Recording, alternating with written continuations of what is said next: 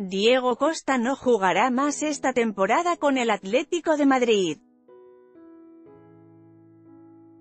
La roja directa que vio contra el Barcelona le ha salido carísima al delantero, ocho partidos de sanción. Competición le ha castigado tanto por el ataque verbal, me cago en tu puta madre, como por lo que ocurrió después, sujetarle los brazos al árbitro para evitar que sacara más amarillas. 4 y 4, lo mínimo para cada acto. Gil Manzano ratificó su versión del acta a petición de competición. Y un audio que obra en poder del Comité Técnico de Árbitros recoge claramente el insulto del delantero atlético.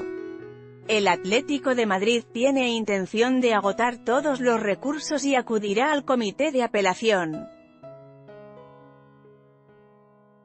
Ver Galería Las siete sanciones más duras de la historia El comité de competición le ha aplicado los artículos 94 y 96 como base jurídica para sancionar al delantero de Lagarto.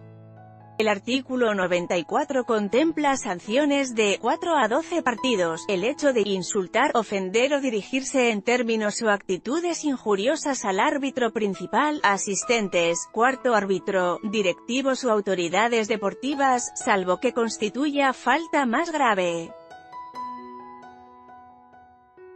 El 96 va en relación al agarrón del delantero al colegiado, que éste reflejó en el acta del encuentro. Agarrar, empujar o zarandear, o producirse, en general, mediante otras actitudes hacia los árbitros que, por solo ser levemente violentas, no acrediten ánimo agresivo por parte de la gente, se sancionará con suspensión de 4 a 12 partidos, añade este punto del reglamento. Hay que recordar que el acta de Gil Manzano explicaba que había mostrado la roja a Costa por dirigirse a él, a viva voz, diciéndole, me cago en tu puta madre, me cago en tu puta madre, y...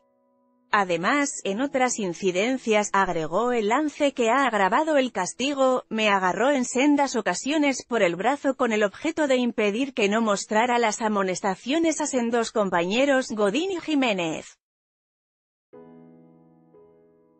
El Atlético presentó recurso ante competición El Atlético presentó alegaciones intentando rebajar el castigo a su delantero.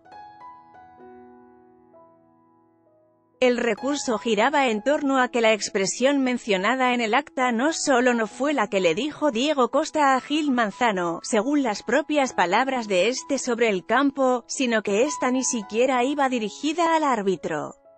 Los me con los que protestó el jugador la tarjeta roja que acaba de ver querían decir que la expresión en cuestión era, la puta madre que me parió, no un ataque a nadie, sino un grito de rabia al aire. El Atlético puede recurrir ahora ante apelación. Fue lo último de Diego Costa en el Atlético. No ha hecho efecto y Costa se perderá los próximos ocho partidos. Dado que quedan solo siete jornadas, se acabó la temporada para el delantero y quién sabe si también su carrera en el Atlético. Si sale este verano, su último partido como rojiblanco habrá sido el del Camp Nou, y su última acción, una protesta que, además de dejar a su equipo con uno menos, le ha valido ocho partidos. Consulta la resolución completa de la RFF.